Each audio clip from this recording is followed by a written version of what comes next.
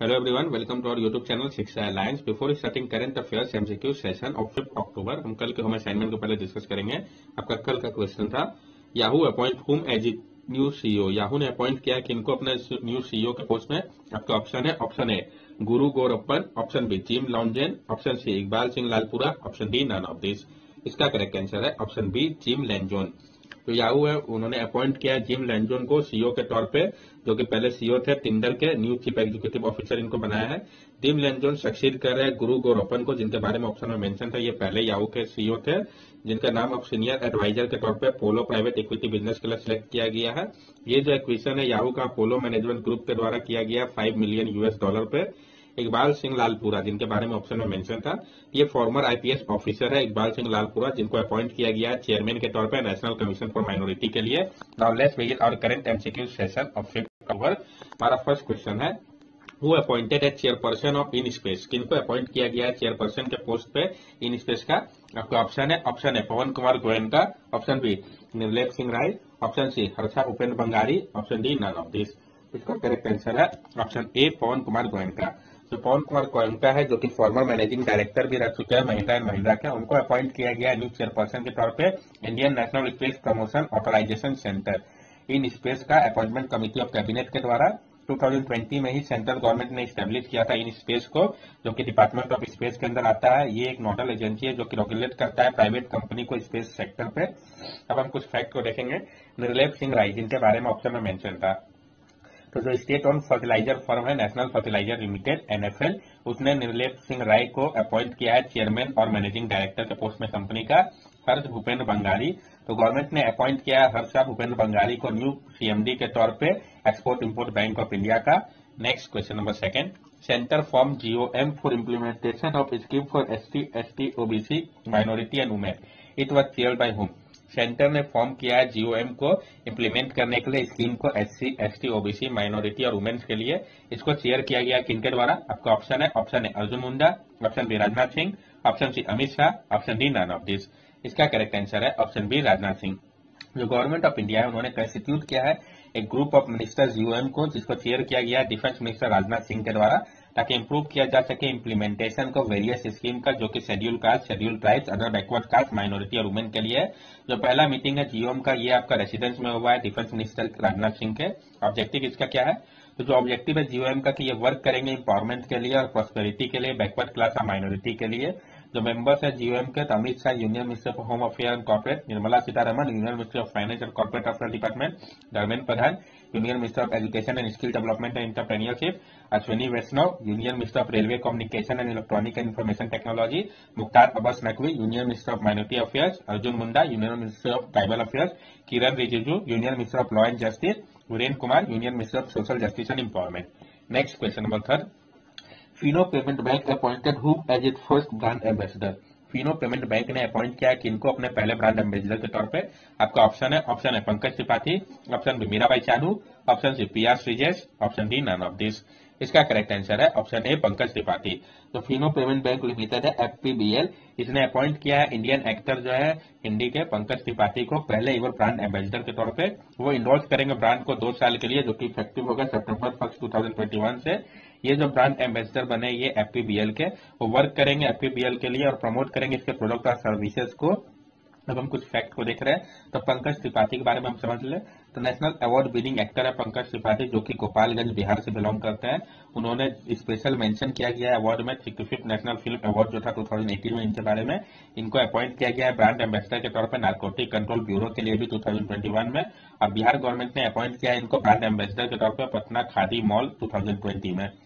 Fino payment bank limited इसके MD CEO e जो है ऋषि गुप्ता है इसको इनकॉर्पोरेट किया गया था fourth April two thousand seventeen में हेडक्वार्टर इसका नवी मुंबई महाराष्ट्र में है मीराबाई चानू तादिदास ने Tokyo Olympic silver medalist Mirabai Chanu को फिस्ट के तौर पर सिलेक्ट किया है स्टे इन प्ले कैंपेन के लिए जो उनका लेटेस्ट प्रोडक्ट है इनोवेशन डिजाइन और किप मोर मेस्कुलेटिंग वुमेन इन स्पोर्ट्स के लिए साथ साथ ये एमवे की भी ब्रांड एम्बेसडर बनी है प्रिया सृजेश ओलंपियन जो पियर्स सीजेस है गोलकीपर और फॉर्मर कैप्टन भी रह चुके हैं इंडियन नेशनल हॉकी टीम के उनका नाम ब्रांड एम्बेसडर के तौर पर एडवेंचर टूरिज्म इन केरला के लिए सिलेक्ट किया गया है next question number four who appointed as brand ambassador of A S I C S किनको अपॉइंट किया गया है ब्रांड एम्बेसडर के तौर पर ए एस आई सी एस का आपका ऑप्शन है ऑप्शन है Virat Kohli option B Joshna Chinappa option C Mirabai Chanu option D none of this इसका करेक्ट आंसर है ऑप्शन बी जोशना सिनापा जो जापानीज स्पोर्ट्स इक्विपमेंट कंपनी है ए उन्होंने अनाउंस किया है Indian squash player Joshna Chinappa को इसके न्यू ब्रांड एम्बेसडर के तौर पर वो पॉजिटिव चेंज लाएगी स्प्रेड करते हुए अवेयरनेस को स्पोर्ट्स के बारे में यूथ में ए जो है वो वर्क कर रहा है सेवरल अदर एथलीट के साथ वेरियस स्पोर्ट के जैसे कि मनिका बत्रा बजरंग पुनिया रविंद जडेजा साक्षी मलिक साथ साथ इंटरनेशनल एथलीट जैसे कि नोवक जोजोरी एंड सोन ताकि सपोर्ट किया जा सके यूथ को और इम्प्रूव किया जा सके उनके परफॉर्मेंस को जो विराट कोहली जिनके बारे में ऑप्शन में मेंशन था तो हाइपरिस ने अनाउंस किया विराट कोहली को athlete investor and brand ambassador के तौर पे हाइपरिस का फाउंडेशन फाउंडर जो है वो एंटनी केज है सीईओ e इसके जिम यूटर है एएसआईसीएस इसके चेयरमैन और चीफ एग्जीक्यूटिव ऑफिसर जो है वो मोटोई ओयामा है managing director A S I S C S India के और साउथ एशिया के जो है ये रजत खुराना है next question number fifth who won the women prize for fiction 2021 for Piranesi किसने जीता है वुमेन प्राइज फॉर फ्रिक्शन 2021 का पिरानेसी के लिए तो किसके लिए जीता ये भी इम्पोर्टेंट हो जाता है और किसने जीता आपका ऑप्शन है ऑप्शन है Alejandro Prieto option B Payal Kapadia option C Susanna Clarke option D none of this इसका करेक्ट आंसर है ऑप्शन सी सुसाना क्लारिक जो ब्रिटिश ऑथर है सुसाना क्लैरिक उन्होंने जीता है वुमेन प्राइज फिक्शन के लिए 2021 में अपने सेकंड बुक जो कि फ्रेंटेसी नॉवल है इसका टाइटल है पिरा नेसी ये एक मिस्ट्री मैन लिविंग जो कि बाहर रह रहा है लेबरिंगटन हाउस है उसके बारे में है इस बुक को पब्लिश किया जा रहा है ब्लूसबरी पब्लिशिंग के द्वारा उन्होंने पब्लिश किया अपना डेब्यूट नोबल जोनाथन स्ट्रेन को और मिस्टर नोरेली को 2004 में एलेक्जेंड्रो पीटो जिनके बारे में ऑप्शन में मेंशन था ये मैक्सिकन फोटोग्राफर है एलेक्जेंड्रो पीटो जिसके विनर बने हैं bird photographer of the year के 2021 में पायल कपारिया तो जो डायरेक्टर पायल कपारिया है a night of the knowing nothing इनके लिए उसको मिला है ओएल डी और golden eye award best documentary के तौर पर ट्वेंटी फोर्थ फिल्म फेस्टिवल में next question number six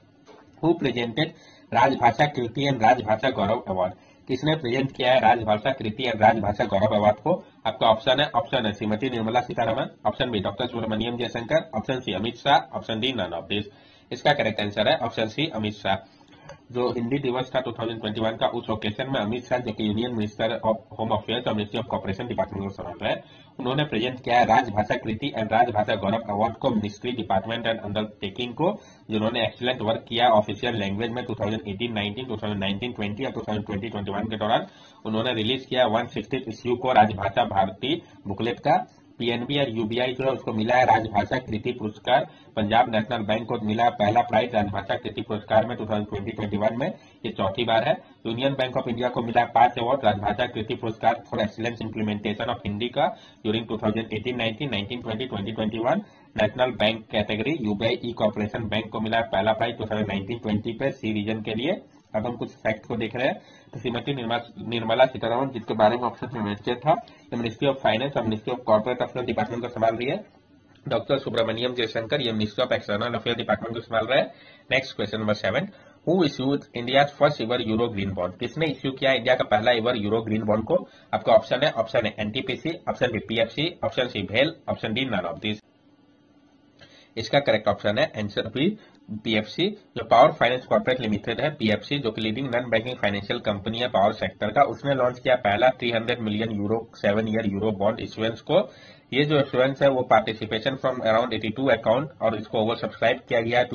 five time institutional investor के द्वारा अक्रॉस एशिया और यूरोप में जो तो प्राइसिंग है उसको अचीव किया गया है lowest yield lock in by Indian issuance euro market में ये पहला ever euro denomination green bond issuance है इंडिया के लिए ये पहला एवर यूरो इश्योरेंस है इंडियन एनबीएफसी के लिए और पहला यूरो बॉन्ड इश्यूएंस है इंडिया के लिए सिंस टू के बाद अब हम फैक्ट को देखते हैं power finance corporation limited PFC ये इसका administrative control ministry of power करता है हेड ऑफिस इसका न्यू दिल्ली पे है इसके चेयरमैन और मैनेजिंग डायरेक्टर रविंदर सिंह ढिल्लो ने फाउंड किया गया था सिक्सटीन जुलाई सिक्स में NCPC national thermal power corporation limited इसको फाउंड किया गया था फाइव में इसके चेयरमैन जो है गुरदीप सिंह है हेडक्वार्टर न्यू दिल्ली पे है भेल भारत हैवी इलेक्ट्रिकल लिमिटेड इसका हेडक्वार्टर न्यू दिल्ली पे है इसके सीईओ नलिन सिंगल है फाउंड किया गया था फोर पे next question number eight IIFL home finance sign co lending agreement with home IIFL home finance में साइन किया को लैंडिंग एग्रीमेंट को किनके साथ आपके ऑप्शन है ऑप्शन है Punjab national bank option B HDFC option C bank of Baroda option D none of this इसका correct answer है option A Punjab national bank जो I I F L home finance limited है I I F L S F L उसने sign किया है को lending agreement को Punjab national bank के साथ ये चौथा को लैंडिंग है I I F L S F L का बैंक के साथ ऑब्जेक्टिव इसका क्या है इंक्रीज करना पेनिट्रेशन को एफोर्डेबल हाउसिंग लोन का सिक्योर और अफोर्डेबल तरीके से एमएसएमई e के लिए ये जो कोल लेंडिंग एग्रीमेंट है पीएनबी के साथ ये इंडिया का second largest public sector bank है जहां पे 80 परसेंट जो लोन का है वो प्रोवाइड किया जाएगा पीएनबी और आईआईएफएल एसएफएल के साथ द्वारा जो कि मैनेज करेंगे loan sourcing documentation collection and servicing work को एक्सपेक्ट किया जा रहा है कि कंपनी जो है वो इंक्रीज करेगा अपने लोन को अराउंड 25 परसेंट तक इसको लॉन्च किया जा रहा है इसके कस्टमर के लिए सेवेंटीन स्टेट में जो तीन डिफरेंट बैंक और है कौन कौन से तो ICICI bank central bank of India central tartar bank जिसके साथ F L S F L ने ये एग्रीमेंट किया हुआ है अब हम कुछ फैक्ट्स को देखेंगे पंजाब नेशनल बैंक इसके सीईओ e जो है एस एस मालिकार्जुना राव है हेडक्वार्टर न्यू दिल्ली पे फाउंड किया गया था 19 मई 1894 को आईआईएफएल होम फाइनेंस लिमिटेड इसके chief executive officer Monu Rakhra है एचडीएफसी बैंक के सीईओ शशिधर जगदीशन है हेडक्वार्टर मुंबई में है बैंक ऑफ बड़ौदा का हेडक्वार्टर अलकापुरी वडोदरा में इसको फाउंड किया गया था ट्वेंटी जुलाई नाइनटीन में next question number nine